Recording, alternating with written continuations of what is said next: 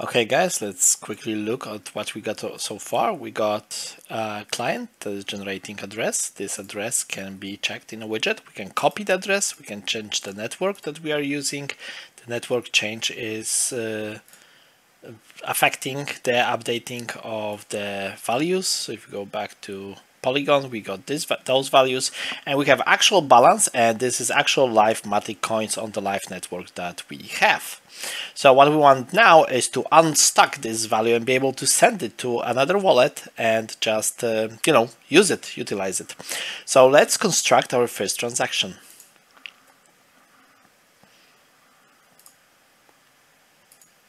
Okay, so we got this widget, we go into design and we have this uh, one input field, second input field, and send.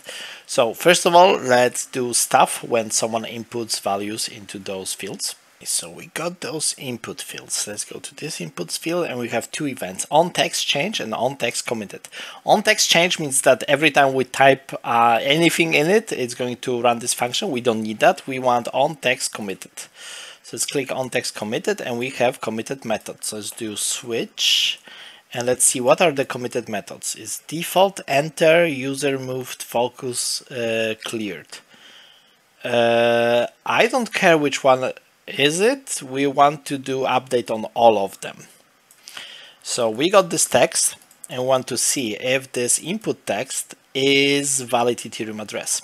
So is it Ethereum uh, is valid Ethereum address. We got a function like this. It's taking up string and this is text, but we can convert uh, text to string without any loss of signs or anything. And we can do this validation. And now based on this validation, we can do this and we can say okay let's do that. So this is valid this is not valid. So we want to go and how is it called? How is it called? To, to, to send to okay so we need to reference to send to. No not this one. Mm.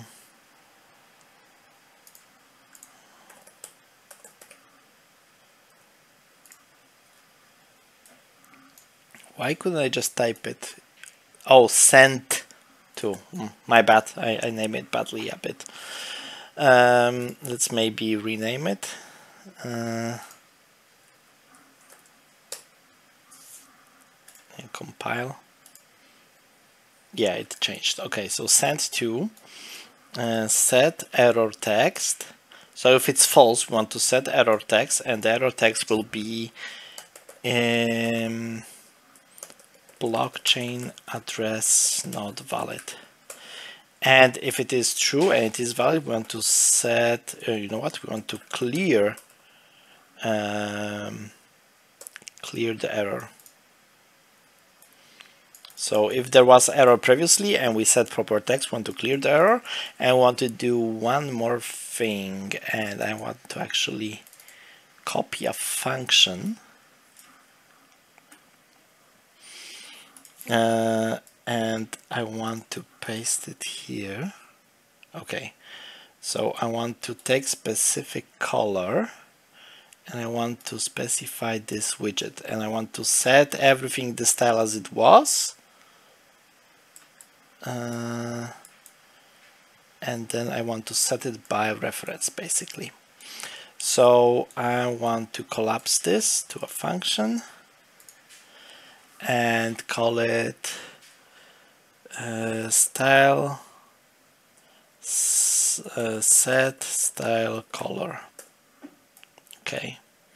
And we definitely don't need two of those. We just need one and we're not going to call it self. We're going to call it widget because it can be a different widget. Uh, and we're going to reuse this function a lot uh, so we want to do this and we want to do this here as well. Oh target itself yes of course. Widget is this okay. Uh, and we want to expose this specific color. So this specific color is going to be called background color.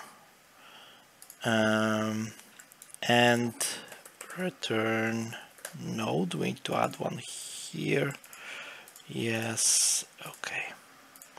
So specific color for clear error and this being valid, let's make it like like this. And let's make it uh, just this. And for error we want to make it like dark. Okay and now we can copy those nodes and put them elsewhere if we are we want to do uh, text validation. So send to text validation. But there's one more thing that we need to do. We need to actually store this address uh, somewhere to be reused. So we want to also promote this to a variable and want to call it send to address. And only if it is true we want to set it if it is false we want to either you know what we still want to set it but we want to set it to an empty string which is not a valid address on purpose because we can check its validity uh, later on. So we got this we got this. Okay let's try it. So if I hit run now I go here I just type some gibberish okay blockchain address not valid. If I go to my wallet and I copy my address okay copy it and I paste it here it becomes green and I cannot read anything anymore so I need to make it like a dark green. Super dark green because the text is white now it should be more uh, user friendly so let's do that enter and I can read it it's green it's a valid address and it's being stored. So now the amount, uh, this will be more tricky because we need to check if we have enough in the balance. So we go here and do the same thing. Uh, on text change, no, not interested. On text committed, definitely yes. So we got this text, we definitely need to do it to string. And when we have it as string, we can do um, um,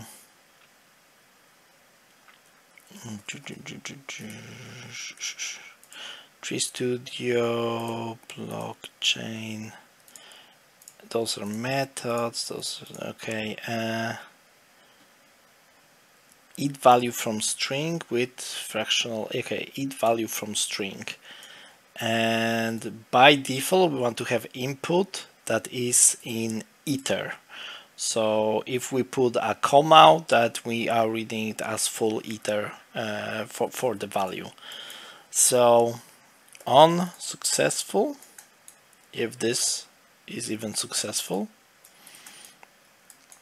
then we want to promote this uh, to a variable and this variable will be send value. Now before we do that, we need to check if this send value is even valid. So if we have already balance, uh, wallet balance, we need to see if send value is smaller or equal than wallet balance um, plus 21,000, which is the cost of uh, minimum cost of sending a transaction. So send value must be less or equal. Uh, oh, no, no, no, it has to be. Uh, hmm. Yeah, we need to minus string 21,000. So balance minus the fees and the sending must be uh, in this range. And if it is false then want to set set balance uh, to make um, you know what to just this. So if our send balance goes above our entire balance then we want to just set it to maximum. And if this is true we are already setting it so we don't have to do anything anymore. Uh, okay. C. Set um, value to send. Mm. Or maybe we don't want to do that. You know what? Let's do something different. Let's first of all take this. Let's get our what's the name of this uh, particular one? It's amount we want to get amount and we want to definitely set the colors first. So this is is less than this so it's true. Is false then it's red and we do want to do also clear error and set error text as well. So set error text for this amount will be um, amount not valid or exceeding balance. So if this conversion is not working out then we are going straight to this as well and we're going to do a reroute. So we see clearly where is it going. Okay. And this is clearing the error. And we have this set. If false we are not setting any value. Okay. Okay we're not cutting down to maximum. We're just doing this. So let's test it. Oh wait we got something missing. Oh yes this this connection need to go here. Uh, so we see every connection everywhere. Okay. Let's test it again. Full screen. Okay. Tab. Open our wallet. Uh, send to. I already have copied my address. Oh no I haven't. I was copying something else. Oh I got like a lot of stuff here. You know what? It will be faster to just restart. Okay let's go to my wallet. Copy. Send to paste valid amount. Okay let's type gibberish okay not valid of course. Uh, 55 not valid of course. 1 it is valid. 0 0.001 uh, not valid or exceeding balance. Interesting. And if I put a comma it is the same. Oh. Okay so for comparison because this is complex math we don't want to use this uh, we want to actually um, use a different function. Uh,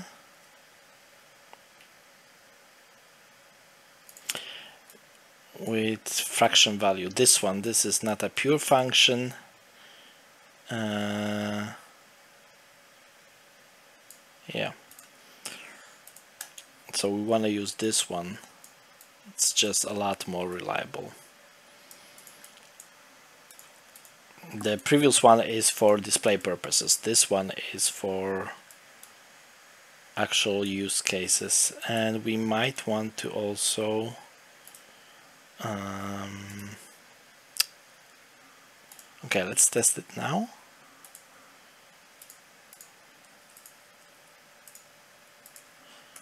one two mm, know, 1.24 okay 1.23 okay. 0 0.23 okay it's still valid. 0 0.00001 it is still valid. Okay. 1.23456 56 and instead of 7 8 okay it's not valid uh, so we got amount check done. Now let's do the max the max amount. Mm, let's go to the button. Button on clicked. And we're going to do some uh, stuff here. So basically we got uh, amount. We want to get this text. Um, and we want to get balance uh, get wallet balance which is like direct Wei value and want to extract a string 21,000 this must be a decimal Wei value. You can't put commas in here. You can't make it a fraction. It must be integer uh, value. So we are reducing it by 21,000 and we are setting it as set balance. Uh, to string.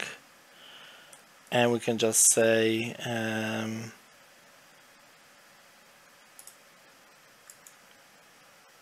two decimal string and the exponent is 18 uh, minimum fraction is 0 max is this. Okay and want to set text. Set text in the text pretty much. And just do this. Now I don't know if this is also calling this or not so let's check. Uh, let's just do a test hello here and see how it works because I'm not fully sure how widgets work. So if I go here, I go here, I paste again something which I should not, I still keep on forgetting, I need to copy the address again. Okay, copy address. Uh, good, we got a validation that it is not a, a proper wallet address. This is okay. And now for uh, a month, if I click my oh if I write like one it's saying test hello and it's doing twice because I hit enter and I also change the value okay hello hello okay one hello hello okay and if I say max it's not saying hello. So it is basically taking the maximum value of my balance and reducing it by the transaction fee that I am able to pay. And this is a very specific 18 digits number and it is precisely calculated. So I will zero out my entire balance if I make this transaction and I send everything to myself. So now I want send button to actually do something. So let's do that.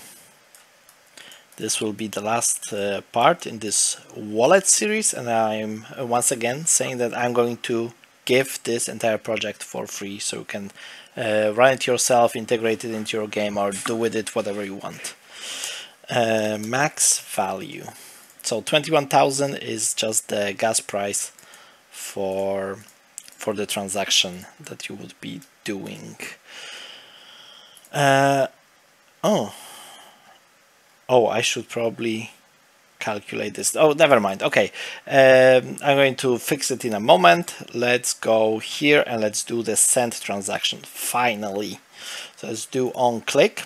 So when you click you are sending transaction so to send transaction we need to do a few things. First of all we're going to get our refresh timer. And we're going to say pause timer by handle. Okay we, we want to pause it. Because we don't want it to refresh values while we are performing a transaction.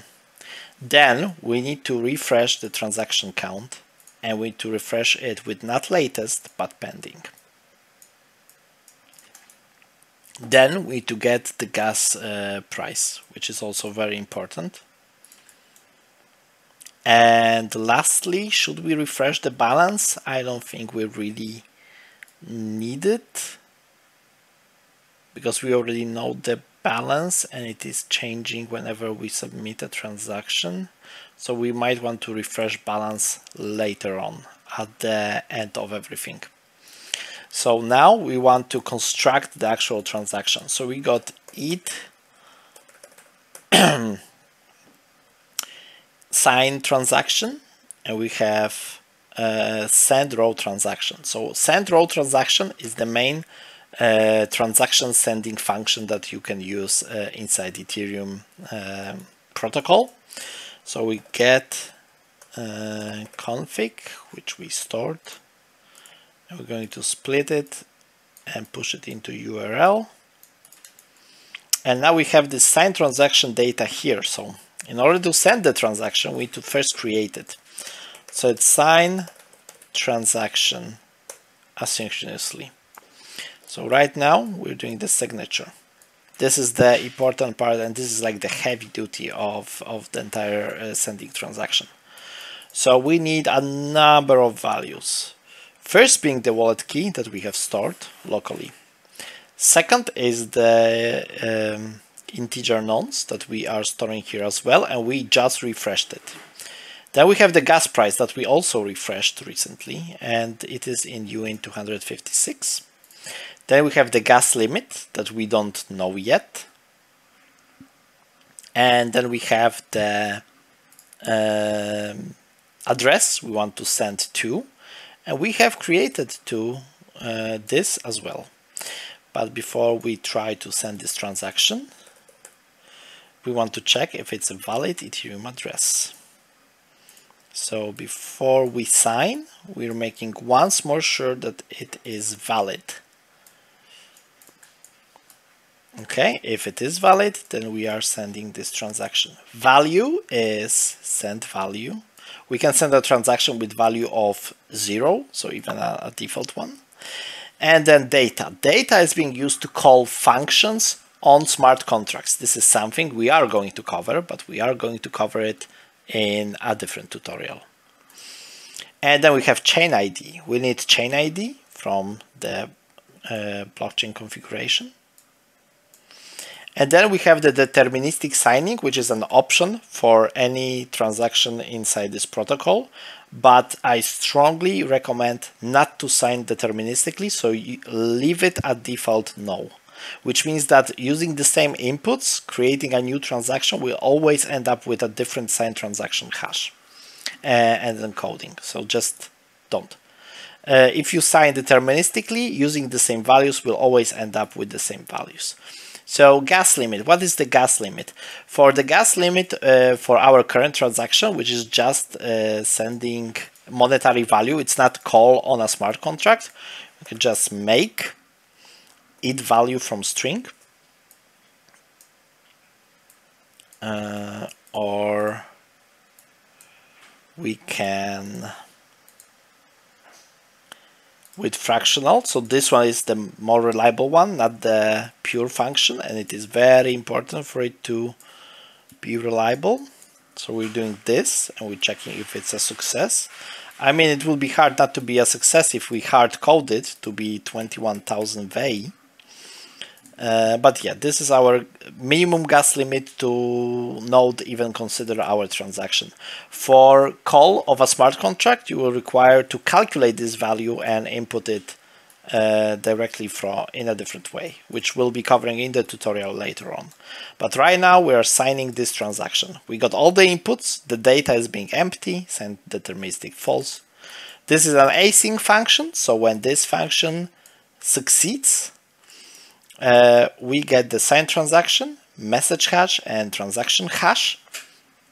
So we can get the signed transaction as an input and put it to the signed transaction data.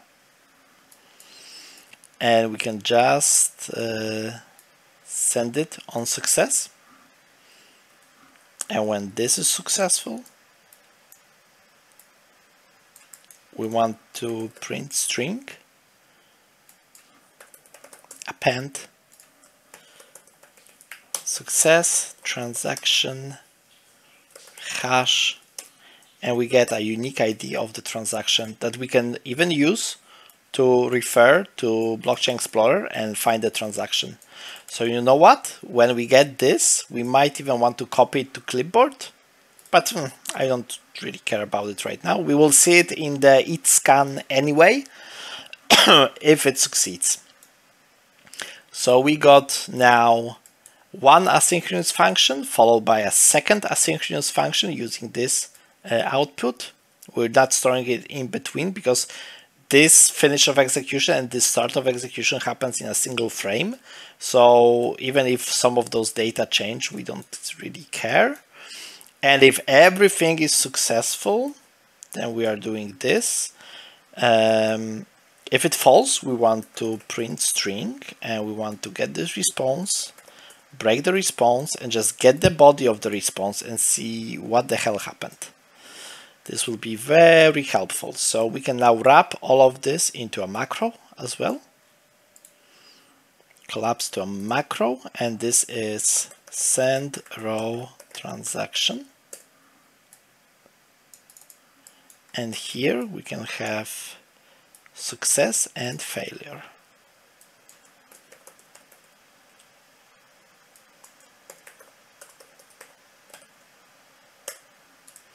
But this is success or failure of the final send. Uh, it doesn't go from here to failure. It doesn't go from here. And this is actually something we want to do. So we want to do this connect it like here we want to do this